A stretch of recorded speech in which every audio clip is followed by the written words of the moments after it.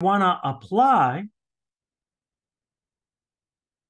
the work energy theorem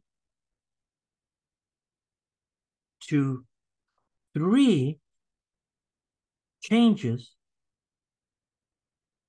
in energy. Okay, so now let's look at A.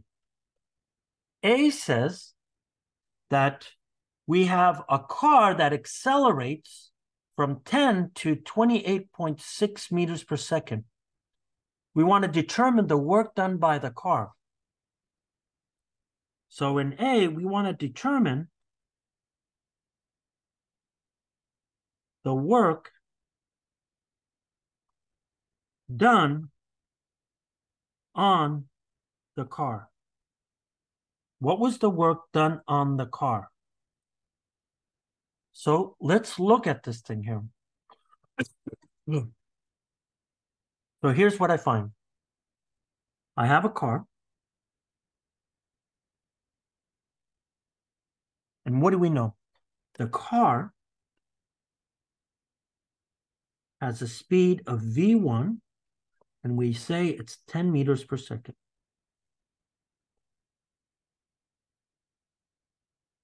Now, the car is going to speed up.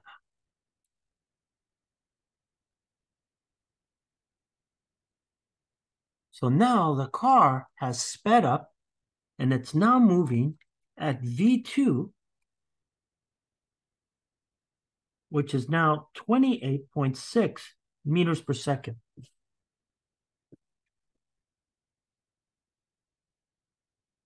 So the question that has to be asked is that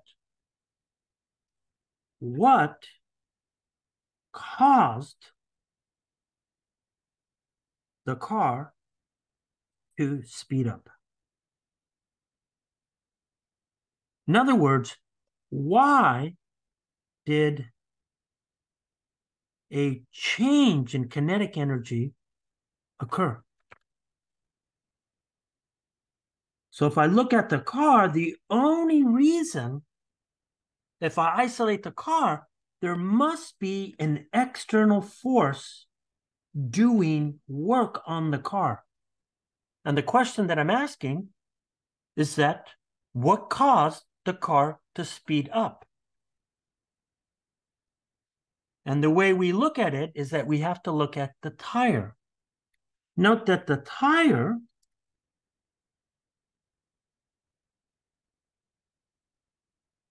is in contact with the ground. So when I'm looking at the tire here, what am I actually seeing here? Well, for starters here, so when I'm looking at this tire here, I know that the tire is doing what? It's rotating in this direction. So then the tire the force of the tire pushes backwards. So what's the force that pushes it forward? According to Newton's law, Newton's third law, it has to be the force of the road, which we call friction. So friction does work to speed up this car. So how does it do it? Well, we start off with a certain amount of kinetic energy. Okay, we have this amount of kinetic energy right here. Then there's work done by the car, by the by the, the friction. This is the external work here. And as a consequence, the kinetic energy has increased to K2.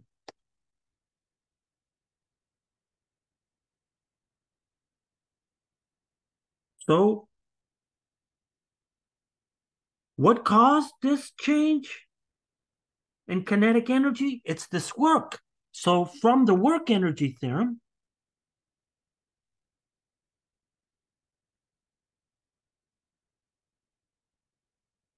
we could then say that the work of friction, as we see from our picture here, must be the change in kinetic energy, which then means I can then write as 1 half m2 squared minus 1 half m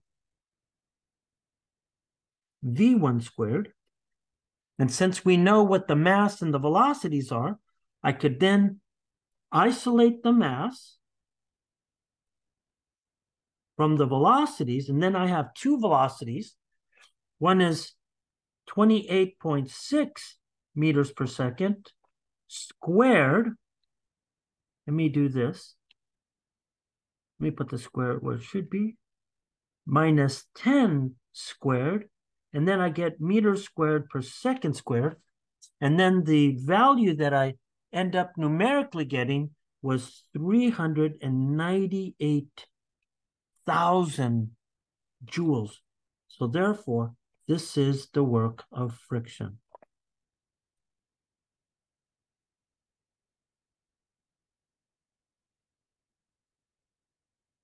So let's go to the next one here. So the next one that we want to look at is um, read something like this. So now we're focused on B. So it turns it says that the lowest point in California is actually Death Valley. And you could see here is that it's at negative 282 feet below sea level. And the summit of nearby Mount Whitney is the highest point in California. Actually, that's that's wrong. That statement is wrong. Whitney portal is at 8360 feet. It's not the um it's not the so this is Whitney portal. Ah, that's a mistake. Because uh Whitney is some, it's a 14,000 foot um, elevation change. So, what is the change in gravitational potential energy of the most energetic 65 kilogram hiker who makes it from the floor of Death Valley to the top of Mount Whitney? So, by the way, like I said here in B, I sh- you should you should look at this online this is known as the bad water ultra marathon. Okay. And the Badwater has a pretty, pretty interesting, um, you know, picture. Here's here's the elevation picture for uh, the Badwater marathon. And you could see here is that this is where the race starts. Here's where it starts. And then you get up to here, and this is where it ends at uh, Whitney Portal. Now, the race here, the Badwater, the Badwater race is 135 miles. But what you're finding here is that remember that if you were to look at how high does it actually climb here, so 100, I should be a little bit more careful. So 135 miles it is the horizontal distance but you actually only climb 2.8 miles. So 2.8 miles is the vertical distance that you actually go. So when you're looking at this thing, what we're asking in this question here is that we're asking what is the gravitational potential change here? And the way we look at the gravitational potential change is that we imagine that we're looking at the force of gravity only here. And what we know here is gravity only works in the downward direction. So, so if I draw a free body diagram,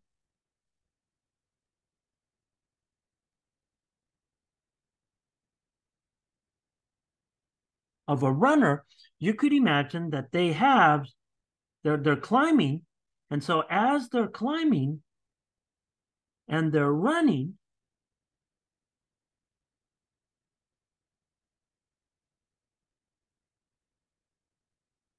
you could imagine that this is the surface that they're running and it is angled. But if we're only focused on gravity, I mean, there is a normal, right? There's going to be a normal. And then I'm going to have two components of gravity, mgx, and then I'm going to get mgy. And of course, I need friction to get me to move forward. But if we're only talking about gravitational potential energy, then the picture changes.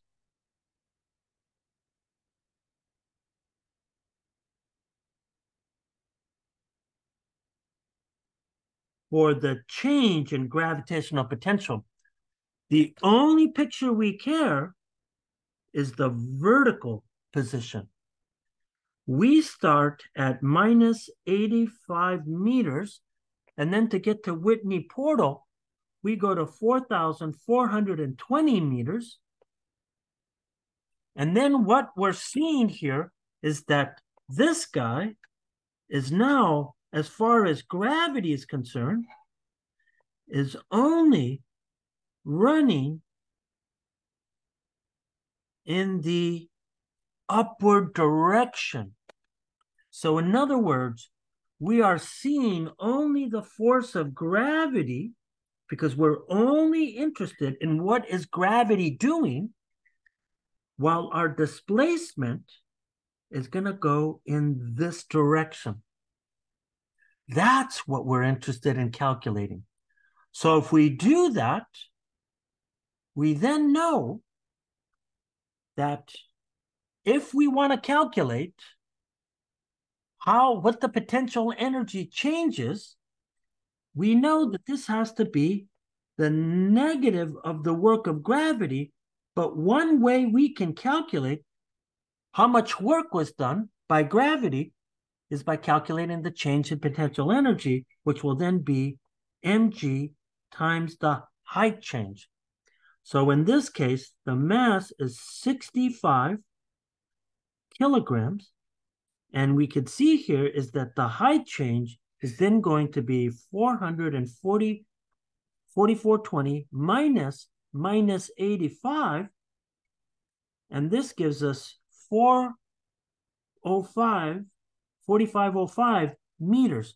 So if I now punch these guys in, I'm going to get 65 kilograms times 9.81 meters per second squared times a height change of 405 meters. This then equals 2.87 times 10 to the 6 joules, and that would be the height change, the potential energy change, or the work done by gravity as you go up. Now, you know, just as a reference, this isn't very much. That's not a lot of joules, by the way. And the reason why it's not a lot of joules is just do a conversion. So if you were to convert this into calories, here's what you're going to find. That if I look at the gravitational change, it's 2.87 times 10 to the 6 joules. And then this will be 4,200 joules into one food calorie. This says that it's 683 calories. That's not a lot of calories. It just says that this person probably spent 683 calories just going vertically. Horizontally, you know, you, you got to be expecting that these guys, I mean, th- this race takes around 25 hours, 30 hours. Those guys are probably burning 20,000 calories